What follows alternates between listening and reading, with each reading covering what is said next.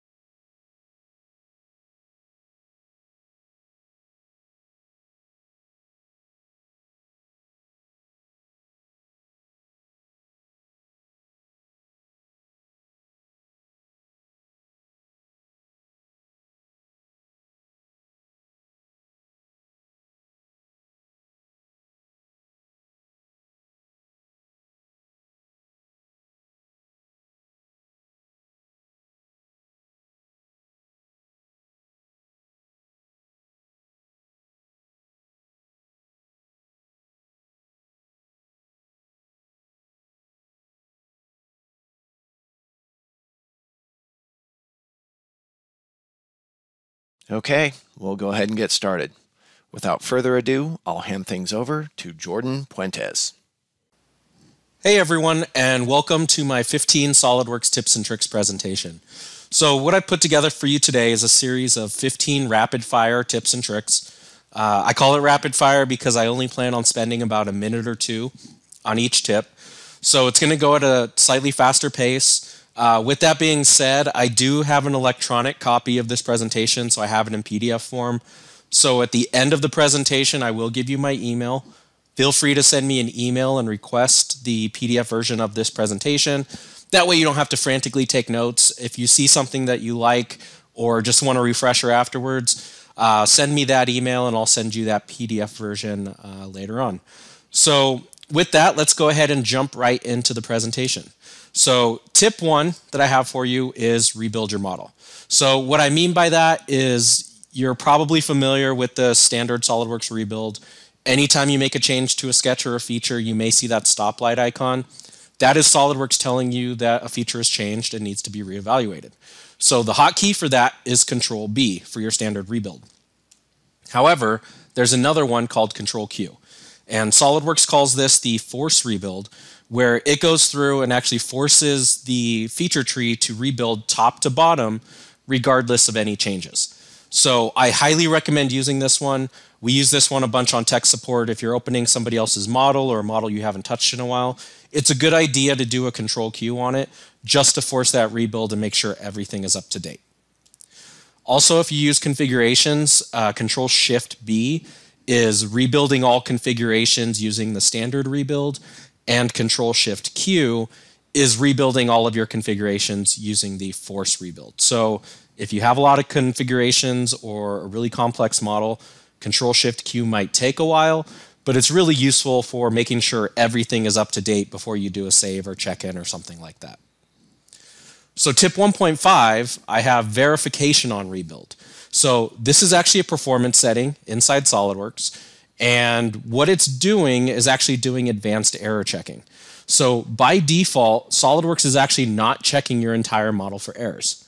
What it's doing is checking each feature uh, against adjacent faces and edges. So in this case, I have a sheet metal part, and when I added this sketch bend, it's actually self-intersecting. Now, SOLIDWORKS is normally checking for an error like this. However, with the standard error checking, it's only looking at the adjacent faces and edges. So this bend, there's no errors. This bend, there's no errors. This bend, there's no errors. So it's actually not reporting any errors. So where this is, is in your options, performance, verification on rebuild. Now what this is, is advanced error checking. So when I turn this on and I hit a control Q for rebuild, uh, essentially what this is going to do is report an error. So the part intersects itself. It's actually finding that self intersection. So what I recommend doing with this verification on rebuild, it's great for advanced error checking, but I don't recommend having it on all the time. So again, that's system options, performance, verification on rebuild. I recommend turning this on every once in a while. So if you have a complex model or a sheet metal part, uh, don't keep it on all the time because your rebuild times are going to be a lot longer. Uh, just turn it on every once in a while, see if you have any errors. If you don't have any errors, you can turn that off and go back to the standard error checking. Uh, but also on the flip side of that, if you have an error with verification on rebuild on and you turn it off, that doesn't mean the error is no longer there. So the error is still there, it's just not being reported. So just be aware of that. Uh, know that this setting is there and understand how you can use it to make sure that you're catching everything that you need to catch before you send it out. So tip number two, dismiss messages. I'm sure we've all encountered this where we open up a model and uh, we've got some sort of message box. In this case, it can't find a file, so it's asking if I want to browse, suppress, or suppress all, so I'm going to say suppress. And it suppresses some components for me. Now, in this case, what I'm going to do is I'm going to prompt that again. And what I'm going to say is don't show again, and I'm going to say suppress this component. What that does is because I hit don't show again, now anytime that message would show up, it's just going to default to whatever I chose when I hit don't show again. So in this case, suppress component. Now the problem with this is what happens if I want to be prompted again? So anytime you want to bring back a dismiss message in your options under messages, errors, and warnings, any dismiss message is going to show up down here with a checkbox. Go ahead and place a check next to the message you want to pop up again. And then the next time that you would have been prompted for that message, that message comes back up. So in this case, I could just say suppress again. Uh, so dismiss messages are really useful if you know you're going to choose the same thing every time. So in this case, if you hit don't show again, it'll always default to that option. And if you want to show it again, tools, options, system options, you can turn those back on. So tip number three is use the S key. I use this one a lot. Uh, essentially, what this one is, is when you hit the S key on your keyboard, it's going to bring up a list of common commands uh, for whatever modeling space you're in. So in this case, I've got an assembly open and I have some common assembly commands like insert component, mate, show hidden components. Uh, and it changes depending on what model environment you're in. So now that I'm in a part and I hit the S key, there's things like extrude and fillet. So it brings it right to your mouse key or right to your mouse cursor.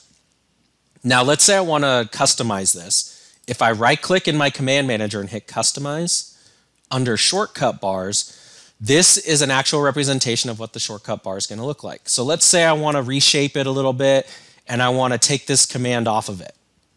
If I hit OK, it's instant. So now when I hit the S key, there's all of my commands that I can get to right away.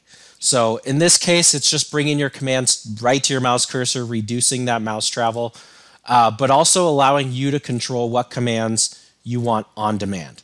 So fully customizable. Uh, right click in your command manager, go to customize, and you can change those S keys. It changes depending whether you're in the part space, assembly space, drawing, or sketch space. Another interesting thing about the S key is it also launches the search command. So notice there is a checkbox down here for activate search command, which le leads nicely into our next tip, which is tip four, use command search. So command search is going to be found in the top right of your window here. Um, and essentially what this does is it searches all of the toolbars and menus in SOLIDWORKS for whichever command you're looking for. There's so many commands in SOLIDWORKS, I don't expect anybody to know exactly where every single one is. Uh, so in this case, just remember what the command is called. So there's a really cool sketch command that I like called dynamic mirror. So I'm going to start a sketch. And what I'm going to do is come up here to search commands and under this drop down, make sure it's set to commands. And I'm going to just start searching dynamic mirror. Now the command is found uh, in the list. So what I'm gonna do is hit this little eyeball icon and I'm not touching the mouse right now. What SOLIDWORKS does is it takes over and it actually shows you where the command is. So if you wanna know where it's located, uh, it can find it for you. So I'm gonna go back into that search and I'm gonna hit the enter key. Now another thing I can do is just select the command from here, or I can even drag and drop it right onto my command manager. So in this case, if you find yourself searching a command over and over again, uh, just drag and drop it onto your command manager. That way you don't have to go searching for it anymore. So an important thing to note about the last tip, if you do hit the S key, uh, notice my shortcut bar came up, but also in the top right where my search is, notice it's highlighted to where I can start typing in whatever I want to search for. So it's a quick way to get to your command search from there. Um, and that way you can just launch the command or just drag it right onto your command manager if you want to. So command search is a huge time saver. You don't have to remember where every command is located. Just remember what it's called. So remember to set your search criteria to commands first, uh, but I use this one a lot. Tip number five, dimension to the minimum and maximum condition of your arcs. So when in a sketch, and this works on both arcs and circles, if you go to your smart dimension tool and just dimension between any two circles, you may have noticed that SOLIDWORKS defaults to just the center point to center point. Now, in a lot of cases, we may want the maximum condition or minimum condition of the circle or arc. So there's a quick way to get there, and it's inside your smart dimension tool. So inside Smart Dimension, if you hold down the Shift key and hover close to the min or maximum condition of your arcs, in this case, I'm going to take the, I can choose any of them. So I'm still holding down the Shift key. As soon as I select it, I have now dimensioned from the maximum condition of both of my arcs. Now, the really cool thing about this is you're never locked in. So even with my dimension from center to center, and I'll recreate it, I can always go back in after the fact, select my dimension, and under the leaders tab, I can actually toggle between the minimum, maximum, or center condition of any one of my dimensions. So you're never locked in. You can either hold the shift key while you first create it, or you can go through uh, after the fact and in the leaders tab of the dimension um, properties box, you can go through and change those. So the quick way is with the shift key. Tip number six, use power trim. I use this one a lot. It is a uh, sketch tool, so you'll find it on your sketch toolbar. Uh, essentially what power trim is, is a, it's a catch-all for all of your trimming needs inside your sketch. So I'm gonna open up my sketch and I'm gonna go to my trim entities. Now what I mean by power trim is we have a couple different trim options. I just stay on power trim. And the way it works is it's actually tracking your mouse movement. So notice I'm making a line here. Uh, and just be aware that as soon as you let go of your mouse, that's what invokes the, the trim command. So I'm actually going to go through and do a couple cuts. Now you'll notice as I go through, it's just trimming to closest, which is usually what we want. Now notice I haven't let go of my mouse key yet, or my mouse button. The reason is because it's actually tracking everything that I'm trimming. So let's say I got a little bit ahead of myself and I didn't actually want to trim that last one. I'm actually going to take my mouse key and go back over that red box and it's almost like an undo before you let go of your trim. So if I go to the right and uh, oops, I actually wanted to go down, I can actually go back over it and go back down. So it's keeping track of it. And then as soon as I let go of my mouse button, there's the trim command. So a couple things to note about the trim command. It is undoable, which is fantastic. I really like that. Uh, and it's also maintaining design intent. So I'm going to trim away this line. It's actually recognizing that this was a complete line before. So it added a collinear relationship to make sure that I maintain design intent. So I'll go ahead and undo that. And the last really cool thing I'll show that a lot of people aren't aware of with the power trim, let's go ahead and trim away everything in the corner. It actually acts as an extend tool also. So if there's a line already in here and I want to bring back the box, I can just extend these lines back out and then just trim them all away, all within that exact same trim tool. So that's why I say power trim. Power trim's really the only one you need. Um, in this case, just use your trim tool or power trim tool. It's a catch-all. Uh, I use it all the time in, in my sketches. Tip number seven, move under to define sketch. So this happens to a lot of new users. It still happens to me occasionally where I have an underdefined sketch and I just want to move that sketch to the right. So a lot of users, what do they do? They grab a point, move it, and it blows up your sketch. So you may have even tried highlighting everything and doing the same thing and dragging it. Still doesn't quite work. So there are some uh, sketch tools in there, such as move sketch entities that you can move things around, but there's a quick way to do it. And that's if you highlight everything and hold down the shift key, you can actually move an underdefined sketch altogether. Now, another cool way to do this, if you hit shaded sketch contours, you can also select areas uh, to move. But if you don't have it on, just highlight everything, hold down the shift key, and you can move it all together. So quick way to move underdefined sketches, and then you can lock it down using relations. But a lot of times we just want to move the sketch a little bit. So we can do it holding down the shift key. Tip number eight, use the contour select tool. So what is the contour select tool? It allows us to select uh, shaded regions. So if I were to right click and go down here to contour select, I can select different regions. But you may notice that was kind of buried in the right mouse click uh, menu. So a quick way to get to it while you're in a sketch, all you have to do is hold down the Alt key, and that's going to launch the contour select tool. So in this case, I can just select a region and really quickly extrude it. So a real quick way to launch it, just hold down the Alt key. Another cool thing you can do is hold down Alt and Control, and you can select multiple regions, easily go to extrude really quickly. So use the Alt key, uh, it's contour select. Uh, you can also use Alt and Control, and you can select multiple regions at the same time. Tip number nine, use filters, or at least understand what filters are. So filters, this commonly happens to users where you may inadvertently hit a hotkey that you didn't know about. Now you have a pink funnel icon next to your mouse, and if you go to select something, you have a hard time selecting things. Notice I can't select these faces. So what these are, are these are SOLIDWORKS filters. Now there's a couple hotkeys I'm going to show you that will help you out of this. Uh, the first one is F5. So if you hit the F5 key, it'll bring up your filters toolbar. So you can see that filters are turned on. And in this case, there is another hotkey, F6, which toggles your filters on and off. So F5 shows the toolbar and F6 toggles them on and off. So in this case, if I look at my filters, what I've got on is filter vertices. So this allows only the selection of vertices. So what that means is if I do a box select, I've selected all my vertices. So filters can actually be to your advantage if you know you only want to filter out certain selections. And if I look through, I also have filter edges, filter faces, a lot of different filters that I can use. So the most common ones that are hit by accident, uh, filter vertices is V and filter faces is X. Those are really close to your spacebar.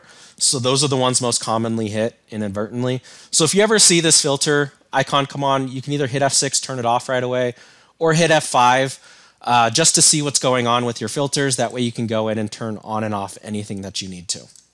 So again, F5, F6, and then V, E, and X I put in there just because those are the ones most commonly hit on accident. So tip number 10, tab to hide. This is probably my favorite tip in the entire presentation. I use this one the most out of all of um, the shortcuts. And essentially, the reason it's so useful is because this works on both multi-bodied parts and in assemblies. So in this case, this is a multi-bodied part. And what I'm going to do is hover my mouse over a body, and I'm going to hit the tab key, and that's actually going to hide whatever my mouse cursor is over. So it's important to note that it's only going to hide whatever your cursor is on. Um, and in this case, let's say I want to bring something back that I've hidden. If I know where the part was located, I can move my cursor over where it was. And if I hit Shift and Tab, it'll bring those parts back. So Tab to hide, Shift Tab unhides. I can also use it like a paintbrush. If I hold down the Tab key, anything that my mouse touches then gets hidden. So Shift Tab, I can do that again and bring those back. So um, that's hide and unhide. Another cool little trick I'll show you is let's say we've hidden a couple things and I'm not quite sure what's hidden versus what's not. If I hold down Control, Shift, and Tab together, it will give me a graphical preview of what's currently hidden. And I can just select those to toggle their hide show state. So Tab, Shift Tab, and Control Shift Tab. Now the last one I'll leave you with is if you right click, you can also show hidden bodies where it's kind of an inverse of what's currently hidden. So then I can just go through and toggle it. And it's just going to toggle its hide show state. So when I exit show hidden, there's all of my parts. So like I said, this one's probably my favorite.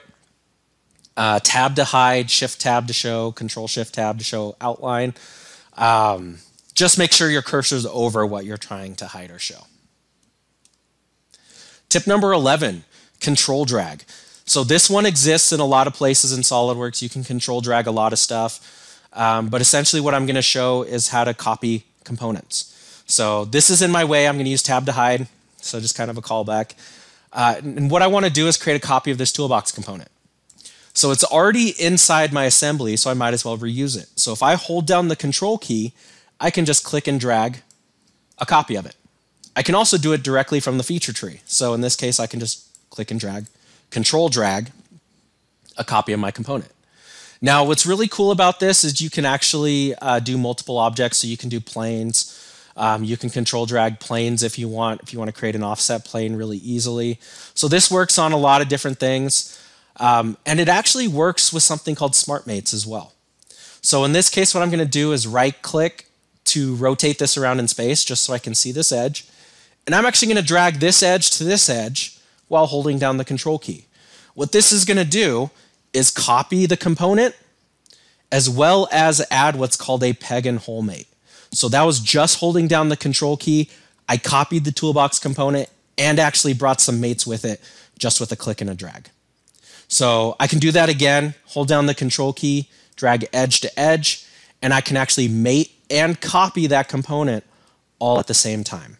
So shift tab will bring back my component and really quickly you can see how using these hotkeys can actually make you a more efficient SOLIDWORKS user uh, just by being able to copy things, hide things, show things.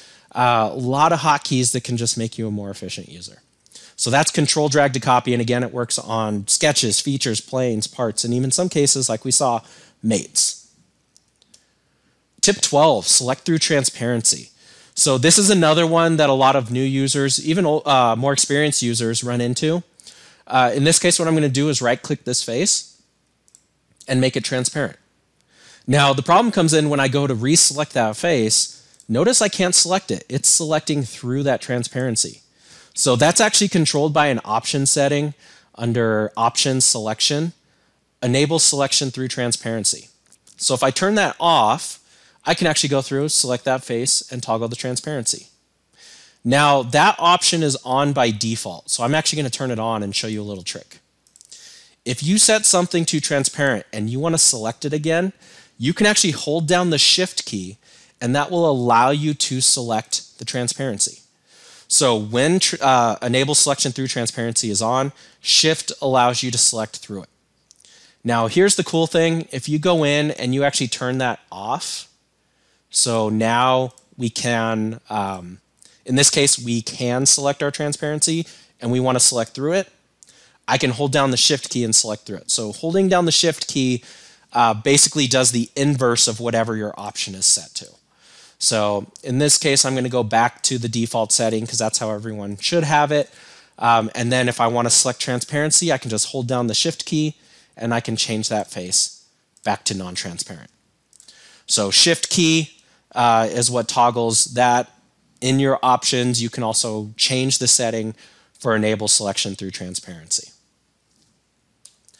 So to finish this off, I've got a couple drawing tips. The first one I have is with hide show annotations. So in this case, what I've got is a drawing. Now, let's say I want to go through and hide a couple things. So I'm going to hide these balloons. Now, it's easy to hide. You can just right click your balloon and hide them. But the problem comes in when you want to show those balloons again. Now, I can't right click where the balloon was and hit show. Hide show edges won't capture the balloons.